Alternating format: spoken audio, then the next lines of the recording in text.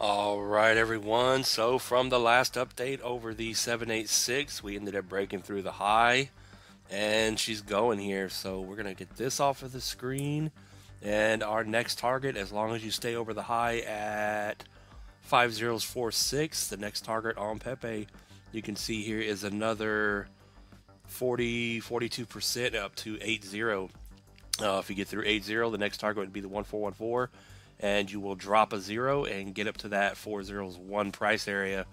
So from where you are right now, as long as you stay over four six, like I said, uh, watch these two next targets uh, to potentially get hit here.